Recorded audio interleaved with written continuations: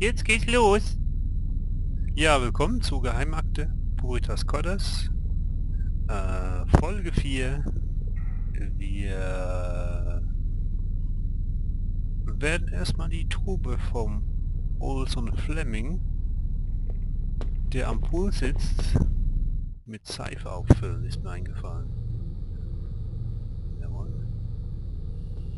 Klappt auch noch. Ich könnte diese Aktion jetzt böse kommentieren, aber ich finde, wirklich fiese Ideen müssen nicht noch kommentiert werden. Hier war die Klingel, der nicht mehr klingelt, die jetzt hier ist.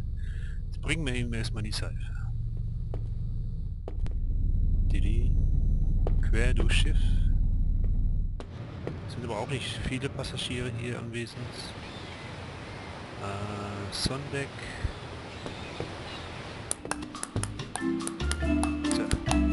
Sehr stilvolles Outfit. Rosa Bademantel, grauenvolle Sonnenbrille und ein Hut? Naja, nennen wir es mal Hut. Ja, das schaut unseren rosa Bademantel doch ein bisschen ähnlich. Und der Hut auch. Brauchen wir noch eine Sonnenbrille. Da ist doch schon eine.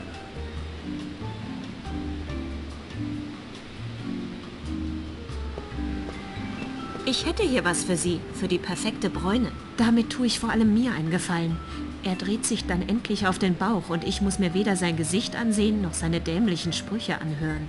Oh, das ist prima, Schätzchen. Danke. Ach ja, wenn Sie schon mal hier sind, dann können Sie mir auch gleich noch den Rücken eincremen. Gerne. Ich, äh, ich muss weg. Die Fluchtergrippe. Puh, die Gefahr ist gebannt. Er hat sich selbst eingecremt. Das war mit Abstand die schlimmste Gefahr, der ich in den letzten Jahren ausgesetzt war. Ja, Tunguska war da nichts dagegen. Ähm, schnappen wir uns die Sonnenbrille.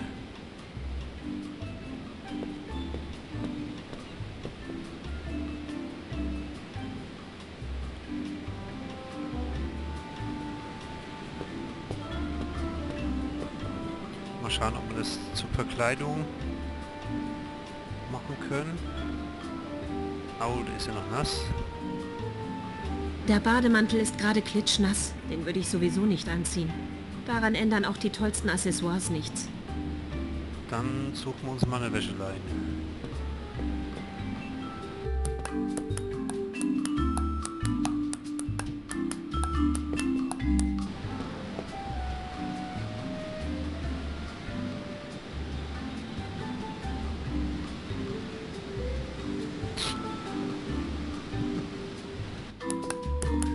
Da müssen wir jetzt mal hochgehen.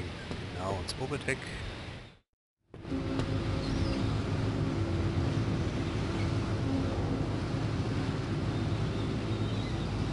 Das gehört wohl zur Klimaanlage. Die Luft, die da rauskommt, ist ganz schön heiß. Dann nehmen wir doch die heiße Luft. Aus dem Abluftgitter kommt so viel warme Luft, da dürfte der Bademantel bald trocken sein. So, trocken genug. So, damit ist die So, Verkleidung jetzt fertig. ist meine Verkleidung Modell geschmacklose Tussi endlich komplett. Gut. Können wir die schon anziehen? Ich sollte die Verkleidung lieber nur dann anlegen, wenn ich sie wirklich brauche. Wann brauchst du denn? Den Schlüssel haben.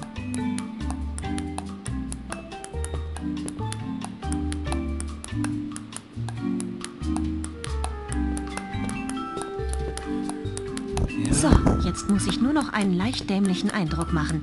Dann könnte ich glatt als Zwillingsschwester durchgehen. Vielleicht sollte sie einen schwer dämlichen ein, ein, ein Druck Einblick machen. Widmen uns mal am Barkeeper. Hallo. Hallo, Frau äh, Jordan? Hey, nicht schlecht. Ich hätte gerne meine Keycard. Ich hätte gern meinen Zimmerschlüssel. Ja, sofort. Sie, Sie waren Frau Jordan, nicht wahr? Bin ich auch immer noch. Äh, helfen Sie mir bitte noch mal kurz auf die Sprünge. Welche Kabine hatten Sie doch gleich? Verdammt, woher soll ich das wissen? Oh, an die Nummer kann ich mich gerade überhaupt nicht erinnern. Wissen Sie das denn nicht? Nein, tut mir leid. Ich kann mir nur Telefonnummern wirklich gut merken. Ansonsten ist mein Gedächtnis leider nicht das Beste. Schauen Sie doch bitte kurz unten nach. Strengen Sie sich mal an. Entschuldigung, aber das bringt leider nichts. Tun Sie mir bitte den Gefallen und schauen Sie nach. Ich schreibe mir das dann auch sofort auf. Wird auch nicht wieder vorkommen. Versprochen. Und verraten Sie bitte dem Captain nichts davon. Der schmeißt mich sonst raus und ich brauche den Job dringend. Ja, geht in Ordnung. Ich verrate keinem was. Wie kriege ich denn jetzt die Kabinennummer von dieser Katharina Jordan raus? Der Portier müsste mir da doch eigentlich weiterhelfen können. Dann Ich muss mir mal kurz die Nase pudern. Wir sehen uns später. ab zum Portier.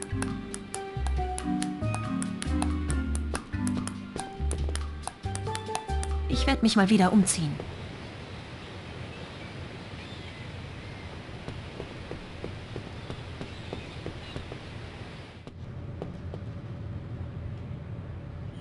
Äh, vielleicht können wir ja rufen. Damit können wohl Durchsagen für die Gäste gemacht werden.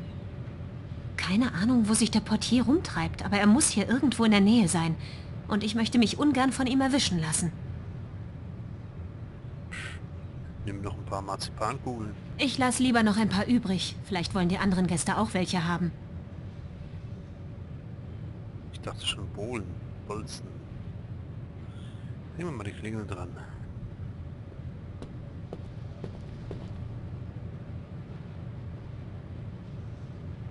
Bing. Bing.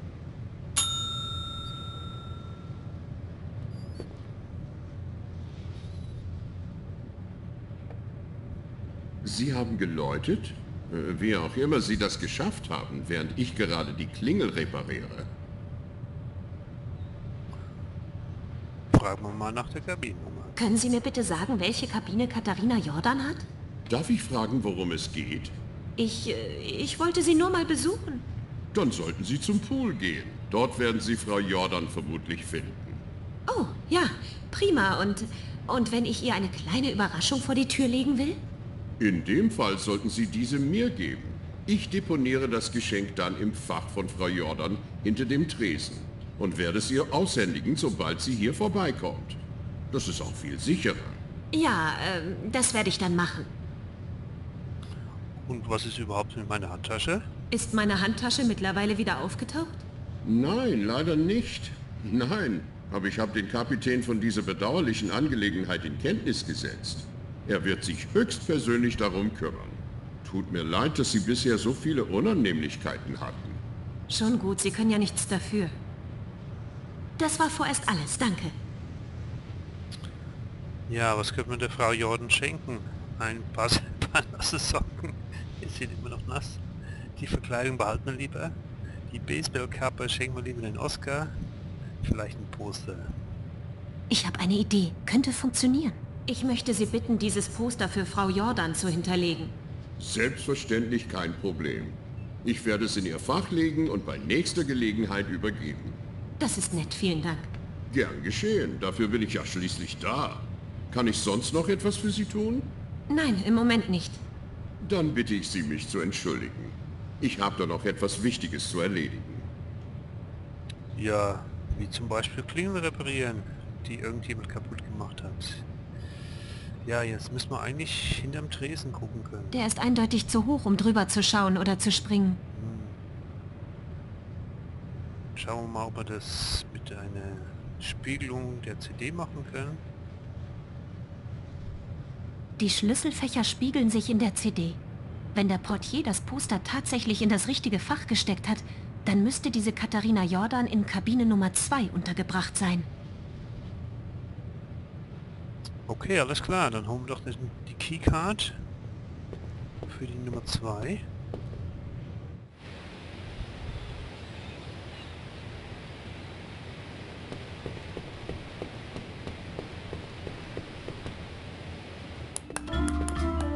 Ach, müssen wir uns noch umziehen. Ratzfatz, Nina ist ja schnell. So, jetzt muss ich nur noch einen leicht dämlichen Eindruck machen. Dann könnte ich glatt als Zwillingsschwester durchgehen.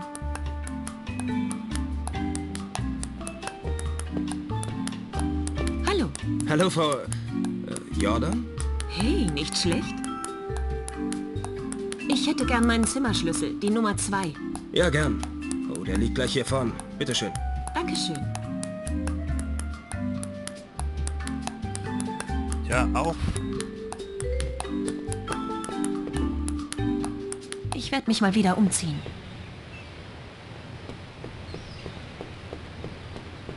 Versucht mal die Nummer 2. Nina hatte ja die 3. Der andere Mann hatte die Nummer 5. Ist das die 2 vielleicht? 2, 3, der logisch. Scheint keiner drin zu sein und ohne Schlüssel komme ich da nicht rein. Die Keycard. Die Schlüsselkarte passt nicht. Hm. Gehen wir alles durch. Die Schlüsselkarte passt nicht. Ich habe ja auch die falsche. ich brauche die 2. Wieso sagt da keiner was?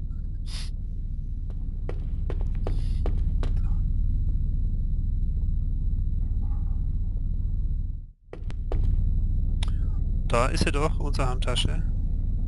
Was sieht man sonst noch? Schrank. Hätte ich die Besitzerin nicht schon gesehen, würde ich aufgrund der Klamotten sagen, eine typische Tussi. Da ich die Dame ja aber bereits kenne, weiß ich, eine typische Tussi. Ja, was bist du, Nina? Eine untypische... Nee, sie ist keine Tussi. Ich schau noch mal kurz rein. Ja, das ist definitiv meine. Bin mal gespannt, was die ehrenwerte Frau Jordan zu ihrer Verteidigung zu sagen hat.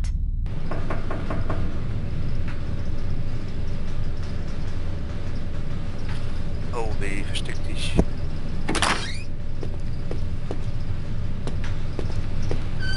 Eine Nadel im Heuhaufen zu suchen ist deutlich einfacher. Aber was bleibt mir anderes übrig? Mal hören, was die anderen meinen. Ich bin's. Nein, deswegen rufe ich ja an. Ich habe jetzt das halbe Schiff durchsucht und immer noch nichts gefunden. Was ist der Barkeeper? Das weiß ich selbst, aber es sind noch weitere Probleme aufgetreten. Der Kapitän ist nicht, der Pferd Ja, das hoffe ich auch. Allmählich wird die Zeit knapp und wir brauchen jetzt schon ein kleines Wunder, damit das Ganze nicht in einer gewaltigen Katastrophe endet. Okay, ich melde mich, sobald es was Neues gibt. Puh, war knapp. Wer war das? Und was hat er hier gesucht? Ein Passagier? Oder ein Besatzungsmitglied? Und von was für einer Katastrophe spricht er? Ich sollte wirklich aufpassen, mit wem ich worüber rede. Wirklich trauen kann ich wohl keinem. Mit Ausnahme des kleinen Oscar vielleicht. Na, da will ich mir auch nicht sicher sein, ob man den Oscar trauen kann.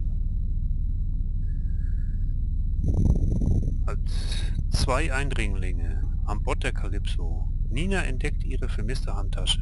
Tatsächlich in der Kabine von Katharina Jordan. Hoffentlich hat die wette Dame eine sehr gute Ausrede parat. Allerdings ist Nina nicht die einzige Einbrecherin. Ein Unbekannter dringt auf der Suche nach etwas Bestimmten ebenfalls in die Kabine ein. Finden kann es aber nicht und das bereitet ihm offensichtlich größte Sorgen. Er erwähnt eine gewaltige Katastrophe. Eine Katastrophe, die auch Nina betreffen könnte? Wer weiß. Oh, hier hat er schwarze Schuhe. Seht ihr? Und vorhin hatte er weiße Schuhe an. Okay, das nur am Rande. Äh, wir werden mal die Frau Jordan befragen, warum die Handtasche in ihrer Kabine steht. Das ist äußerst merkwürdig. Ah,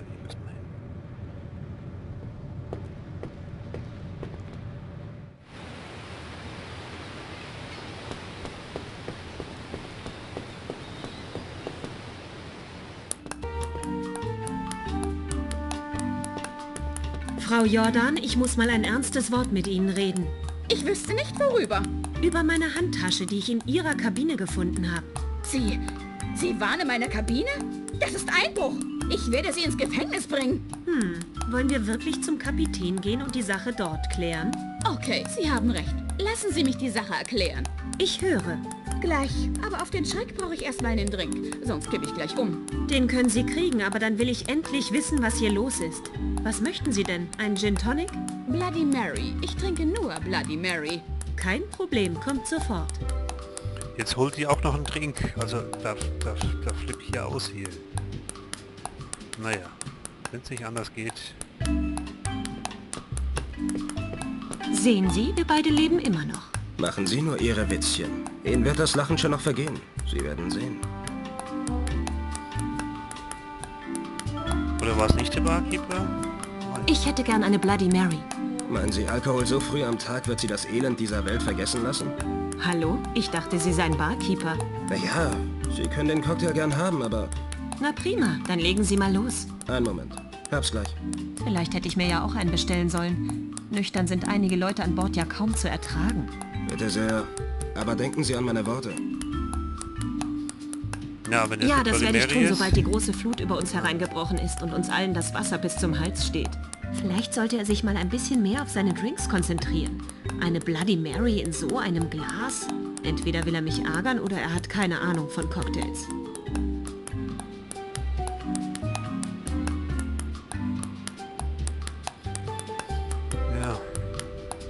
Ich werde mir dann schon mal ein sicheres Plätzchen für den Fall eines plötzlichen Weltuntergangs suchen.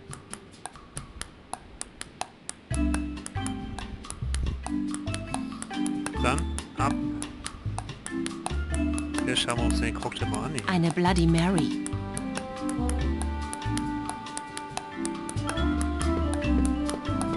So, Frau Jordan, hier ist Ihr Cocktail. Danke.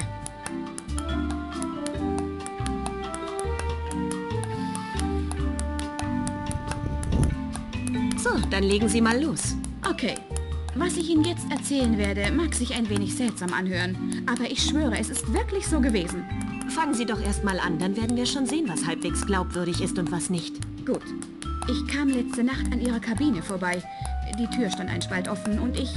Ich war einfach neugierig. Ich schaute durch den Spalt und sah einen maskierten Mann, der in Ihren Sachen rumwühlte. Er muss mich wohl irgendwie bemerkt haben, denn plötzlich drehte er sich blitzschnell um und zog mich in die Kabine. Er presste mich gegen die Wand. Seine Hand an meinem Hals. Ich wagte kaum zu atmen. Ich weiß nicht, wie lange ich so stand, aber es kam mir vor wie eine Ewigkeit. Vermutlich wusste auch der Maskierte nicht so genau, was er jetzt eigentlich tun sollte. Dann hörte ich leise Schritte auf dem Gang, die sich der Kabine näherten. Ich überlegte noch kurz, ob, ob ich laut um Hilfe schreien sollte, als ich plötzlich eine Pistole vor meinen Augen sah. Der Mann zischte mir zu. Halt's Maul, sonst mache ich dich kalt. Ich, ich war starr vor Angst. Und selbst als er mich losließ und ihn in die Tür vor den Kopf knallte, habe ich mich nicht getraut, mich zu bewegen. Einen Augenblick später stand der Mann schon wieder hinter mir und zischte mir ins Ohr. Wenn du irgendjemandem erzählst, dass du mich hier gesehen hast, dann bist du tot. Du gehst jetzt zum Schiffsarzt und erzählst ihm, die Frau sei unglücklich gefallen und mit dem Kopf an die Tür geknallt. Und denk daran, was auch immer du tust, ich werde dich genau beobachten. Was, was hätte ich tun sollen? Ihnen nicht gut? Sie sind plötzlich so blass. Ich... Keine Ahnung. Wird bestimmt gleich wieder weg sein. Bloody Mary hilft immer. Ja, Schon besser. Als ich... Als ich in meine Kabine zurückkam, stand da plötzlich diese Handtasche. Ich hatte panische Angst, weil mir plötzlich klar wurde, dass der Mann jederzeit in meine Kabine kann. Ich schwöre, ich habe die Handtasche nicht mal angefasst. Jedes Mal, wenn ich... Wenn ich sie angeschaut habe, lief es mir eiskalt den Rücken hinunter. Ich weiß nicht, ich habe schon überzeugendere Geschichten gehört. Andererseits müssen Sie eine ausgezeichnete Schauspielerin sein, falls die Panik in Ihren Augen nicht echt ist. Haben Sie den Mann erkennen können? Ich... Sie sehen aber gar nicht so aus, als würde es Ihnen besser gehen. Soll ich vielleicht den Arzt rufen? Ich krieg irgendwie nicht so richtig Luft. Der Typ jedenfalls. Ich bin mir zwar nicht ganz sicher, aber er, er erinnert mich an. Frau Jordan? Frau Jordan, alles in Ordnung? Ach du Scheiße. oh, die muss doch gleich kotzen hier. Naja, bei Sie der fing auf Hitze... einmal ganz schrecklich an zu husten. Das wurde immer schlimmer und irgendwann hat sie kaum noch Luft gekriegt. Der Doc wird das bestimmt wieder hinkriegen. Machen Sie sich keine Sorgen. Tue ich aber. Das hier sollte eine entspannte Schiffsreise werden. Aber davon bin ich ungefähr so weit entfernt wie von Hawaii. Ich sollte mich erstmal für ein Stündchen hinlegen. Meine Kopfschmerzen von diesem Zwischenfall mit der Tür werden wieder stärker. Ich sollte mich auf den Weg ins Restaurant machen. Bin gespannt, was mir der mysteriöse Passagier aus Kabine Nummer 5 über die seltsamen Vorkommnisse auf dem Schiff zu berichten hat. Ja, wir sind auch gespannt. Und eine Bloody Mary ist übrigens äh, ein Teil Tomatensaft und ein Teil Wodka. Und man kann auch noch ein bisschen äh, Worcestersoße oder ein bisschen Pfeffer reintun. Für den Geschmack. Und vielleicht kein Wunder, dass die Frau Jordan aus den Socken gekippt ist bei so einem Glas. Äh, gehen das nächste Mal dann im Restaurant. Und für diese Ablieferung verabschiede ich mich. Macht's gut, macht mal besser und bis zum nächsten Mal. Euer Christian.